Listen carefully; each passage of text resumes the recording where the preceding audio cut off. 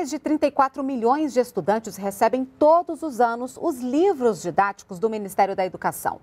As 430 toneladas de livros distribuídas pelos Correios vão chegar ao destino por meio de rotas marítimas e fluviais. Mesmo com o litoral tão extenso e tantos rios navegáveis, apenas 11% do total de cargas que circulam pelo Brasil chegam aos seus destinos pelo transporte aquaviário. A navegação entre portos do próprio país é chamada de cabotagem. Esse sistema começou a ser testado este ano pelos Correios por ser mais barato, eficiente e seguro.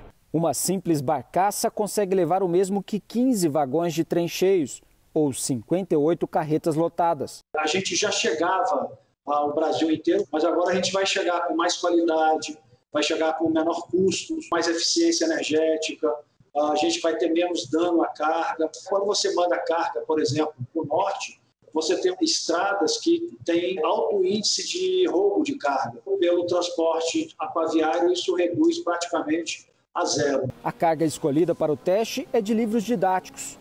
Mais de 34 milhões de estudantes em todo o país vão receber o material. O correio, que nos anos 70 usava até a tração animal para chegar nos lugares mais remotos, agora encurta distância com a cabotagem. É uma escolha estratégica, né? A gente tem que testar o modelo.